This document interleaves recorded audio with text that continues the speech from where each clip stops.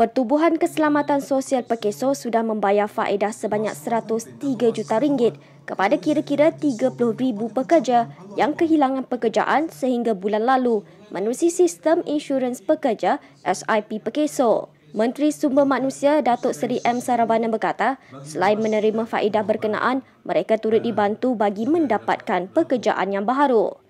Beliau kata demikian pada sidang media selepas menyempurnakan majlis penyerahan watikah pelantikan ahli lembaga pekeso.